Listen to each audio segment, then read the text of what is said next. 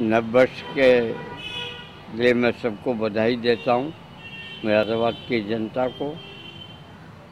और मैं ये चाहता हूँ कि ये नववर्ष जो है, पूरी दुनिया के अंदर एक शांति का संदेश लेकर आए।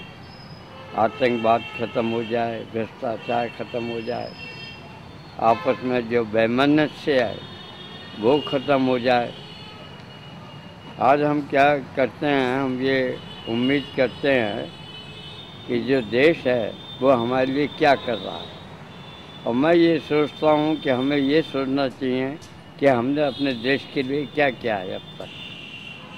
तो इन सब के लिए मैं ईश्वर से यही प्रार्थना है कि सब लोग हँसी खुशी से रहें मेल मिलाप से रहें और एक नया साल जो है 2018 का वो एक ऐसे रूप में आए कि हम आतंकवाद को भूल जाएँ, आतंकवाद ख़त्म हो जाए और जो हमारी एकता है वो बनी रहे।